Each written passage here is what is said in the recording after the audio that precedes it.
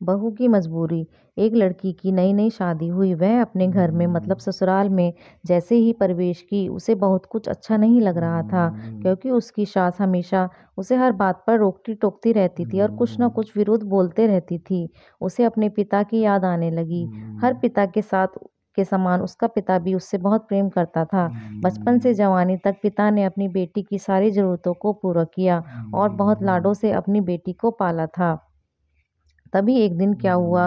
यह नई नवेली दुल्हन अपनी सास के इस रूखे व्यवहार के कारण परेशान हो गई। कई बार तो उसने अपनी सास को खरी खोटी तक सुना दी, जिसके कारण घर में बड़ी असमंजस की स्थिति पैदा हो गई। वह अपने पिता के घर लौट आई और रो रो कर पिता से कहने लगी कि, पिताजी, मुझे अब उस घर में नहीं जाना है। पिताजी उस घर में नहीं जाऊँगी और मैं आपके पास ही रहूँगी। यदि आप मना करोगे तो मैं आत्महत्या कर लूँगी। पिता समझदार थे। उन्होंने बेटी से कहा बेटी दो दिन बाद कहा यदि मैं तुम्हें एक बार जैसा कहूँ वैसा करने को तैयार हो जाओ। यदि उसके बाद भी यही स्थिति रहती है तो जो तू कहेगी वही होगा। तू मेरे पास रहना चाहती है कोई बात नहीं मेरे पास रहना। लेकिन बस मेरी एक बात मान लो।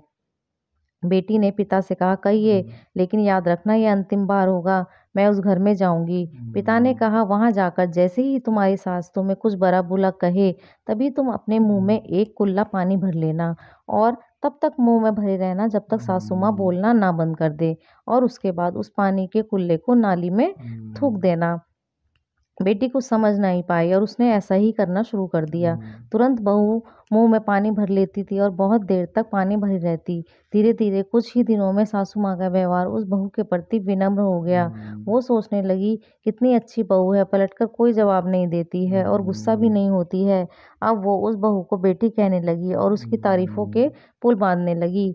कुछ ही दिनों में सासू माँ का प्रेम भरा व्यवहार देखकर बहू भी अपनी सासू माँ को माँ जैसे प्रेम करने लगी। दोनों खूब बातें करते साथ मस्ती करते मार्केट जाते खरीदारी करते। कुछ दिनों बाद लड़की का पिता अपनी बेटी से मिलने के लिए आया। घर के सभी लोगों ने पिता का खूब अतिथि सत्कार करा।